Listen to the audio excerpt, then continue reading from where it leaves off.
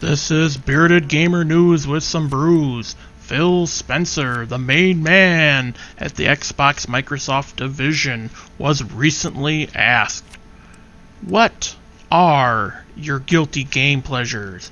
And Phil Spencer, the great ambassador of Xbox, of course he said Gears of War or even the Halo series, you know, the ones that Xbox and Microsoft premiere they're exclusives. But no, Phil Spencer states, and I quote I sit sometimes not in the most exciting meetings, and I love playing solitaire.